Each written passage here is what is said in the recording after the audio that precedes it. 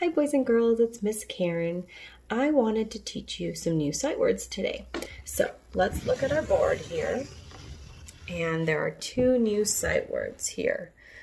One is spelled O-L-D, which spells old.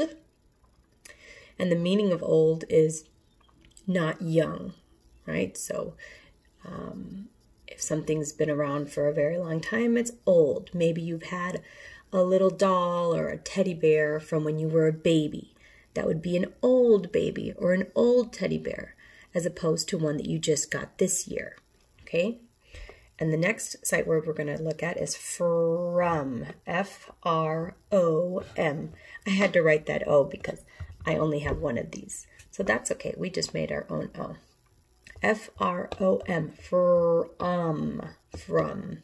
So we can use from in many different ways. Uh, one way is to say, This gift is to you from me. You could say, I came from my house. Um, and so right now we're going to read a little story that uses these sight words. So it's called A Season of Sight Words. Spring. So it's perfect for our spring theme. Uh, it's called Treehouse Time. And you see our sight words are down here, old and from. Where did you get this old stuff from? Let me hold it up there so you can see those sight words, right? They're bolded, which means they're in darker print, old and from.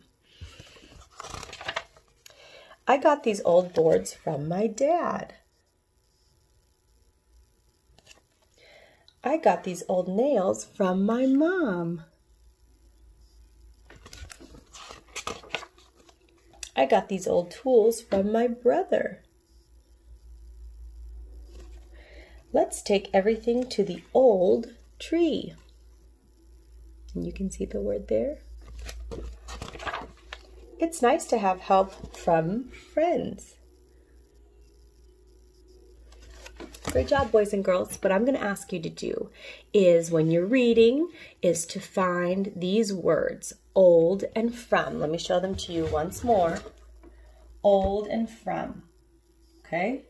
And when you find them, what I want you to do is take note and try to read them um, because since they're sight words, these are words that we have to remember in our brain. Okay? Thanks. Talk to you later. Bye.